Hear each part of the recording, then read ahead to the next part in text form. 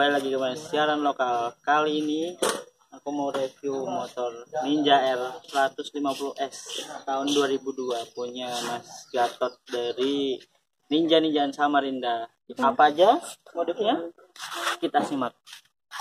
Halo saya Gatot dari klub Ninja Ninjaan Samarinda atau NNS ini saya mau menerangkan sedikit modifikasi yang saya lakukan untuk motor saya. Ninja S 2002 basicnya dari depan itu untuk ban saya menggunakan IRC Inno ukuran 225 peleknya pelek aluminium ukuran 140 untuk disnya saya menggunakan Kawahara ukuran 300 mm selang rem menggunakan TDR terus ke setang itu stang setir satu set saya gunakan punya Kawasaki Serpico Thailand.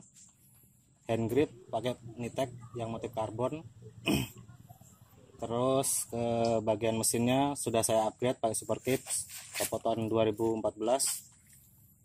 bak mesinnya custom.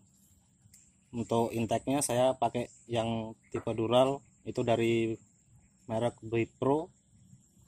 Terus ke karburator saya pakai Motowan yang PE28 untuk bagian dalam itu masih standar semua cuma kruk asnya saya ganti ZX bagian belakangnya apa aja nih itu mulai dari step depan saya ganti yang DKT terus arm ganti yang unitrack copotan punya KR untuk bannya saya juga pakai IRC Inno ukuran 250 ring ring 18 terus peleknya pelek aluminium ukuran 140 ring 18 juga ya? Ah, ring 18 Oke, itu dulu modifnya nanti kita coba jalannya.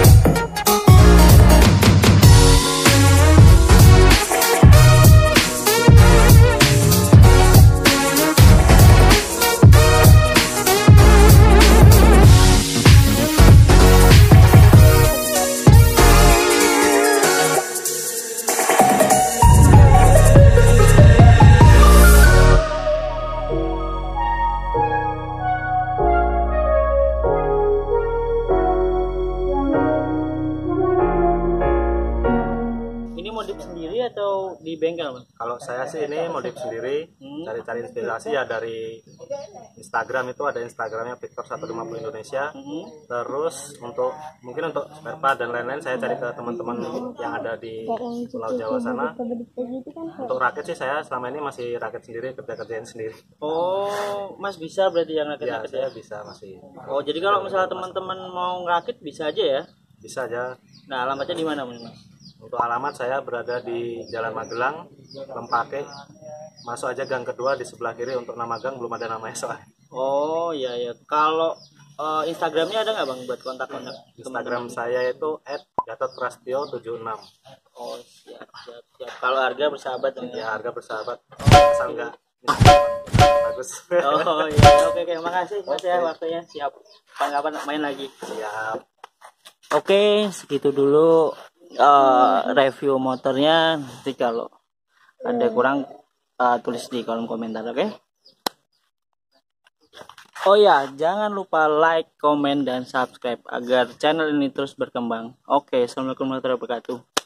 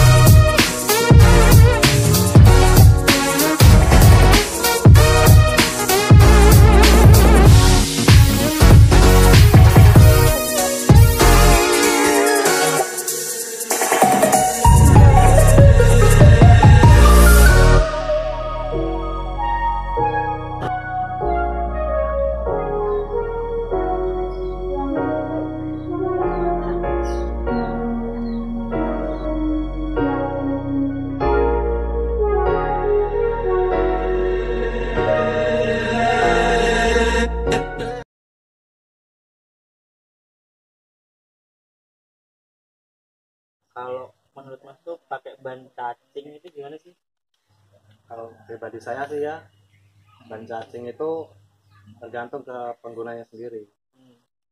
ya kalau dibilang berbahaya kan pasti berbahaya karena peruntukan yang salah terus kalau benar juga ya sebenarnya buat harian nggak benar karena kan peruntukannya mungkin untuk modifikasi sama drag race Hmm.